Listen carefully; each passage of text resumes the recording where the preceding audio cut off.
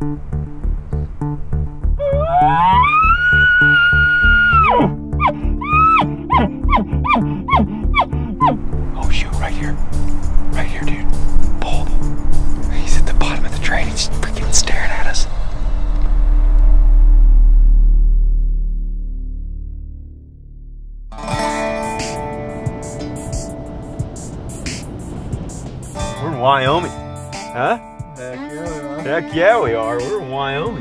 getting ready to go up into these big mountains up here, do some scouting, and start hunting some elk here in a couple days with the guys from the Born and Raised Outdoors crew. It's gonna be just probably the coolest thing in the whole world. Yeah, yeah. What are those? Those gotta be cold. It is cold. 90 degrees yesterday where we were at, Ted. I know. It's dropped to what? things, cha- 45? things changed a little bit out here. For us. It's like 45 right now. It's just gonna get colder because we've got to go up another 3,000 feet or so tonight before we find camp. There they are, Ted. There's elk over there in those hills. Think you were gonna get sick? I might, I might get sick. It takes me a day or so to get acclimated to this. I'll be sick every day of the trip if that means I get to hunt elk. I'd do it anyway. Yeah, that's our unit right there, Ted. Keep your eyes peeled. Good spot to glass for smoke right now. We can't see nothing. But hey, here's a road. Said it was a moderately rugged unit. Looks to be that the case. Wonder if they just pulled that in or if that's been sitting there. And these are people that brought their campers in ahead of time. Got their spot picked out. Yep.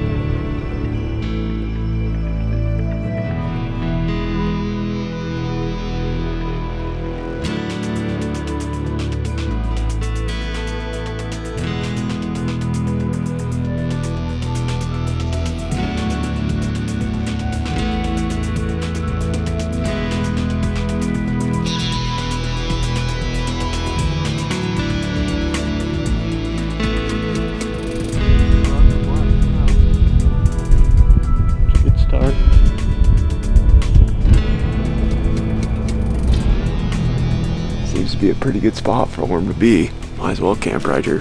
Camp out here amongst them. Right out here amongst them. Hopefully hear some bugling at night. That'd just be alright, wouldn't it? That'd be great. That'd be ideal. Left 95 degree weather and it's 35 degrees right up here right now. it's chill. I still got my gym shorts on. kind of spooky.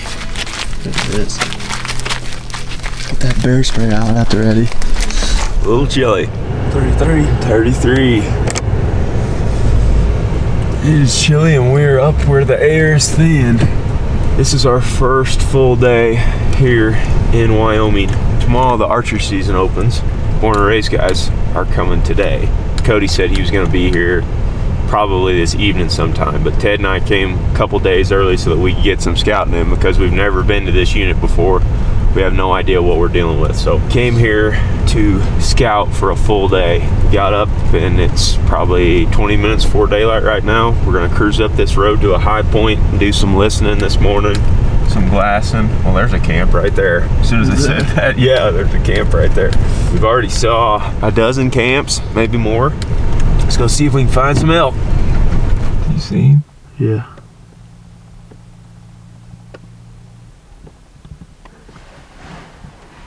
I was like, that color looks like it's an elk. Oh yeah. Nice six point bull, isn't it? Another bull to the right. Are all three young bulls. Yeah, they don't they don't care about this truck at all. No. That's a good sign right there. I'd like to roll this window down and let my foot off at these brakes. Three young bulls. I was driving up this road and I looked out ahead of us and I just saw this like kind of I don't know, that light brown patch out there. Looked like an elk's rump. And then I saw this big rack stick up out of the grass.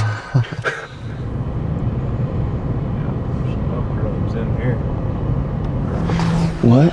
There's there's 200 elk.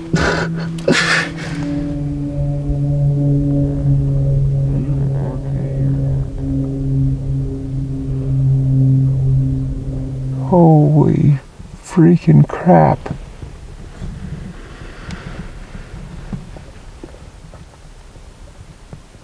Not a real big bull. Not a real big one? Mm-mm. What does he compare to that last one? A little smaller, small five point. Is it? I mean, how many elk are there right there? I don't know.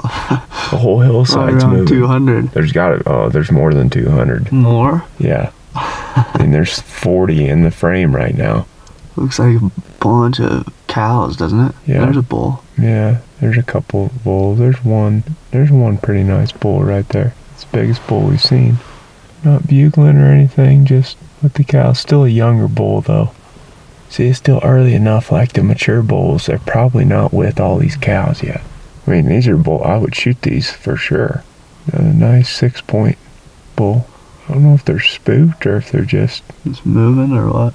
It's moving. Oh, there's a bull moose. Is there? Big bull moose. Behind him? Yeah. There's actually a bunch of moose.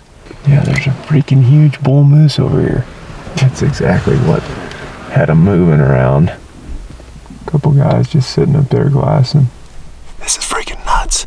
There's like half a dozen moose down here, one big bull moose, and like probably 300 head elk. But how the heck do you hunt something like that? it's just a huge herd. Huge herd elk. How's it going? Good, how you guys doing? Just screwing around. Yep, we're out. We're out looking for elk. We're from Iowa. I drew the tag. We just got here last night and just trying to drive around and learn the unit a little bit. Just talked to some fellas from Wyoming residents that are going to be hunting in here in the unit. Sounds like they've hunted in here most of their life. Got some real good information from them. This particular unit that we're hunting in is kind of broken terrain. As you can see, there's like little pockets of dark timber and then these big wide open meadows with uh, little creeks running down through them. I mean, it's perfect habitat for elk and moose and deer for that matter because they're everywhere in here too. With these big herds like that, it's going to make it difficult to get close enough to get a shot at them with a bow. In Wyoming, in this particular unit especially, there's also some wilderness area, and as non-residents, we're not allowed to go in there without a resident guide of some sort. So I was talking to those guys about going in the wilderness area. They said they they probably won't go up in there because there's plenty of elk down here. I got some crazy phone scope footage though. that was cool. Probably should have put it closer towards the tailgate. I'm too old for this.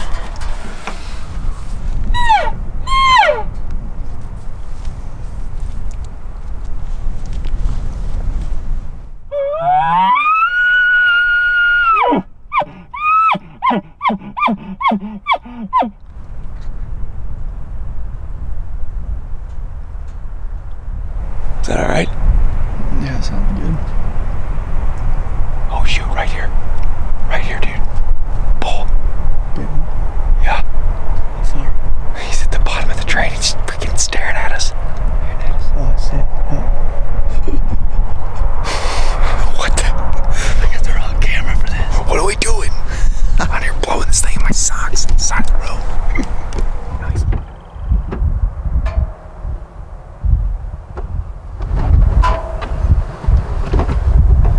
It's a big one, Warb.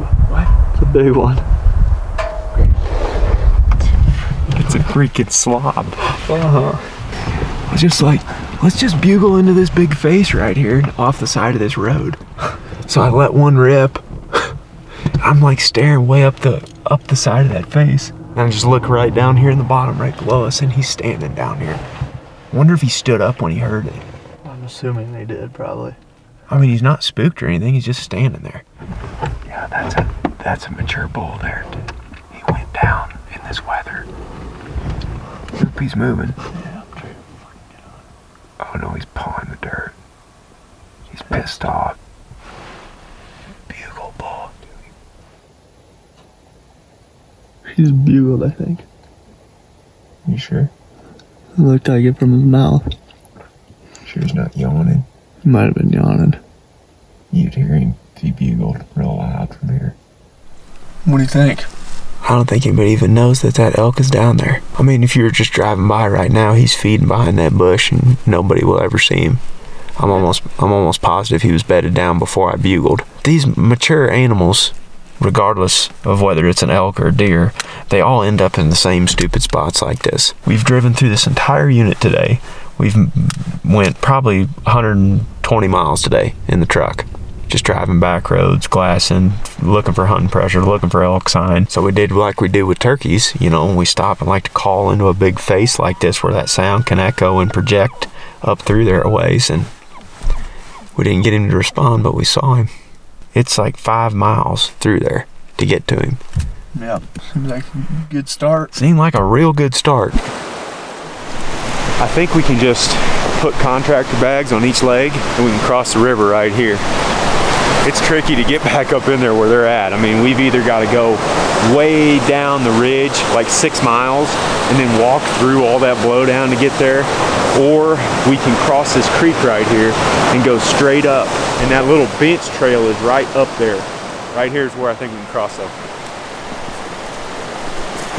See, we go if we go right over, right across through there with the contractor bags. I think we'll be good. Don't you think that'll work? Yeah. Probably be real slick. Yeah, I mean it's it's going to be real swift. I'm, we can keep going up and try to find a different place where we can maybe bounce across the rock.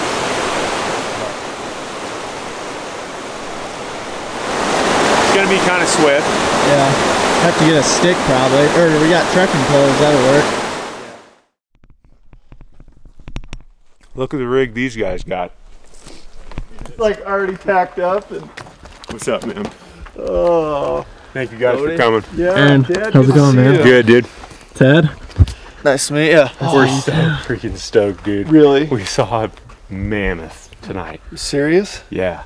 Well, I mean, he's he is to us. Yeah. I mean, I don't know how to measure elk or anything, but he's a huge bull. Really? Yeah. And he's Is he in a tucked away place or? yeah. Really? Mm -hmm. Sweet. Cheers to new friends, new adventures. Amen. Let's get wild, boys. I can blow an elk call all right at my house when nobody's watching, but when I get out in the woods, yeah, I got things can get things can get pretty hairy pretty fast. prototype tube. oh, nice. Cool. I brought spray paint so we can do them upright. Awesome. Those were hot off the press, overnighted to me in Arizona. It's like Christmas. Yeah, man. It is. We got that our new cow call. Oh, dope. I gotta we gotta do a little work on the reed, but there you go, Ted. I been waiting all year for this. I've actually been waiting like four years for this because elk hunting is just the coolest thing ever for me. What do you think, Ted? Yeah, I'd it's pretty pretty great. Ted's pretty excited, as you can tell. We're getting our packs ready to go. We roosted some bulls tonight, so we're in good shape. Tomorrow's opening day. We're gonna get after them. Weather's supposed to be perfect, so we're gonna get some shut eye, then get up in the morning and go after those bulls that we found this this evening. Should be good.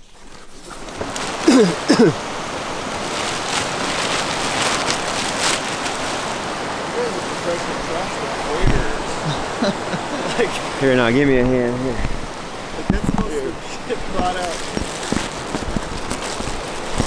No? Nah, I haven't. I've just seen guys do it. I'm coming up with this half naked and just go for it. Hey, you, you know, that's how I may end up after this uh, first little soiree down here.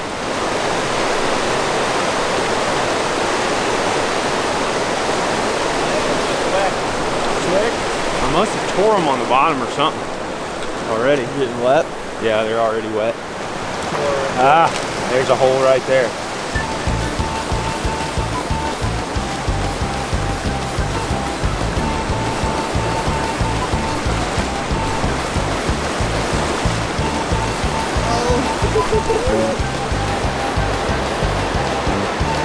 Here comes Aaron.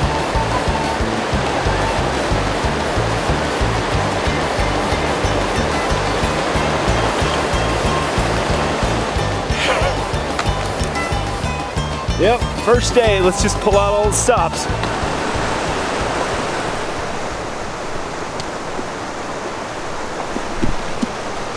Going after the road bull this morning, opening day here in Wyoming. Had a little bit of a time crossing the creek, but we made it.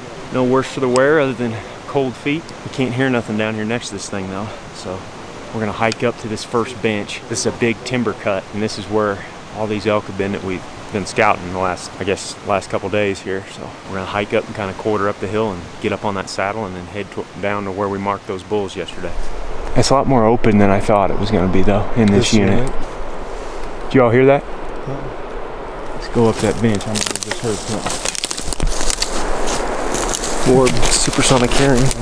Not like yours. Did you hear anything, Ted? I think he just says that sometimes to keep us moving. Break time's done, right?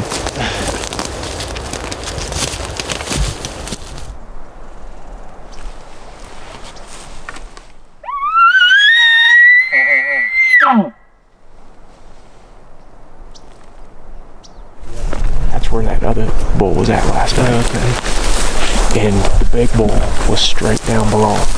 Could we hear one bugle from there? Yeah, it depends on what the wind's doing. What do you think, Ted? Probably gonna get this thing. That'd be great. It's just pretty much the greatest thing ever. You just go balls deep out of the gate. Yeah. Go for it. Why not? I like your style. Why not? Great big five point like whale tails like that. Because that's right above where that one was that we saw last night. What do you see, Aaron? Big bull.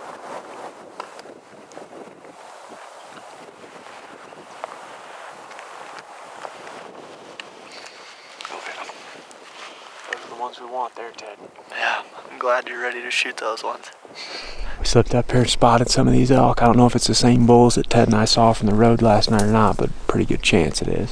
What is there, four or five elk in there? Probably. I think so. Two nice bulls. They're probably a thousand yards or so. The wind is not good right now. It's blowing kind of at our back, so we're just trying to be patient and wait for the sun to warm this hillside up. Three bulls? It's like a rag five. There's three bulls over there now. The wind is not good, so we're gonna have to be real patient with these things and wait until it either switches in our favor or we may have to try to go up and around them or down and under them and hook all the way around them before we can make a play. The good thing is, is they don't seem like they're moving very far. They're content on being on that hillside right there. So as long as we're patient and we work in there, we can probably get in a pretty good setup. That's big gray. Those bulls. Big enough. Oh, there's another bull coming down right at him. Jeez. Have you seen that one? Uh, I don't know. Is that the gray bull? That's the bull we saw last night. Yeah, that's the yeah, great one. that's the gray one. All three of them shooters, look. Yeah. He's the biggest one. Yep. And the one to the left is pretty pretty nice too. Hopefully they all go below. That's what I that's gonna be the only issue is if one of them stays up high. Oh yeah, there's that bull above. Oh wait, that's a different one. That's a different one. Jeez, he's a shooter. Jeez.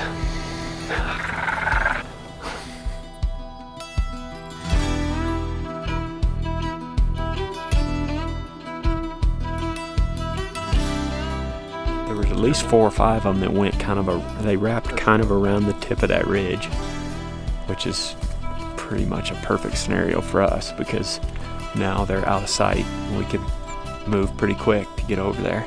We got a bull's nest over there.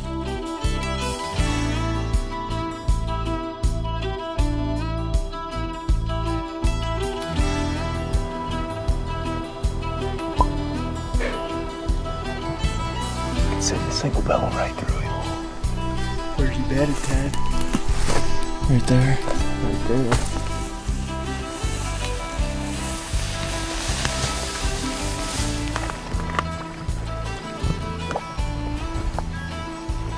Perfect. How does it feel for a little fresh mountain water? Pretty good. Some It's bull, fresh. Look at it. bull piss in the wallow thing two years ago. I don't taste any piss, You know Right what now. piss tastes like? but I mean it's nice and clear. Yeah. So I like those because you can grab dirty water. That bull was screaming, we need to go. You could cross the creek. You literally, in less than a minute, grab the water you need to go, throw it in your pack, keep going. You don't have to, you know, Yeah. no moving parts. you guys need to comment below. Scale of one to ten. You think Warb's excitement level?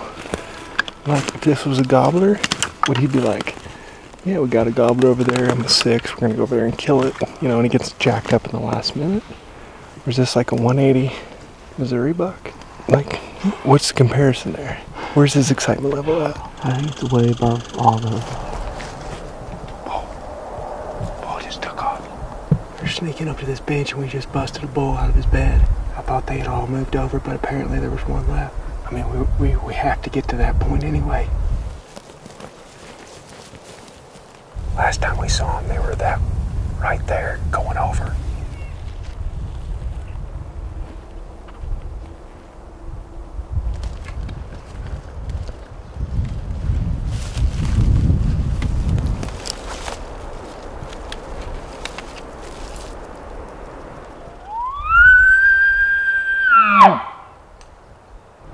We hiked all the way out of there. Did not have any luck getting those bulls to fire off. So got a couple hours left of shooting light.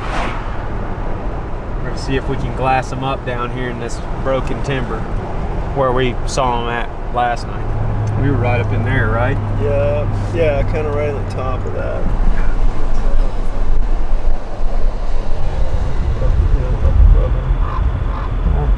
I think that's our boys.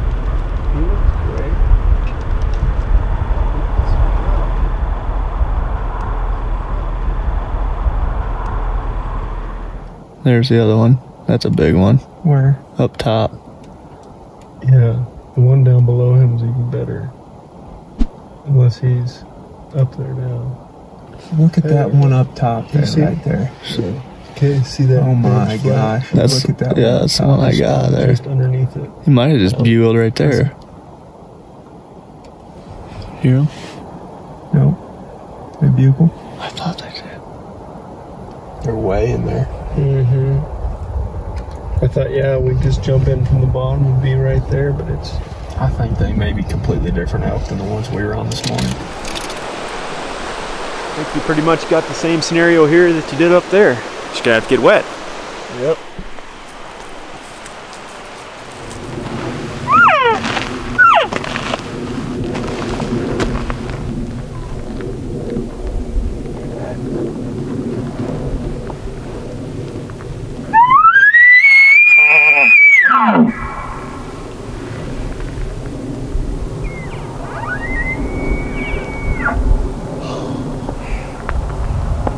Yeah, dude.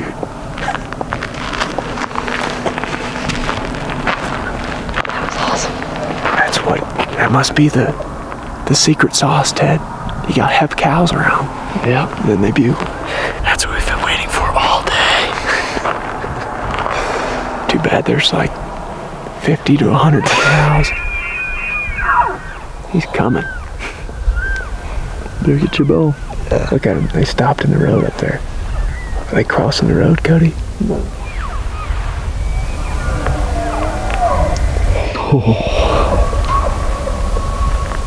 Is that a big bull? Sounds like a big bull. Sounds like a big bull to me.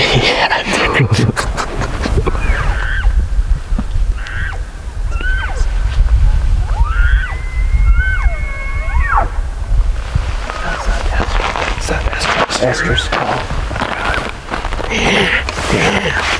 It's hot. You gotta buzz your lips. It's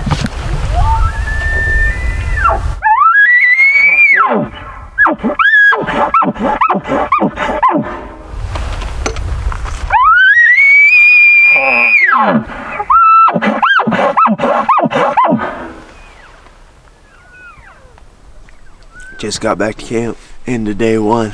Got on a lot of elk today. Saw like 10, 11 different bulls. Pretty crazy, but they weren't talking at all. The one thing we noticed with that whole face that we were hunting all the way down through there, where it was like five, six miles of timber cut, is that we didn't see a cow. And those bulls just weren't bugling. They weren't responding to anything. So we were just having to glass them, spot them, and then try to stalk them.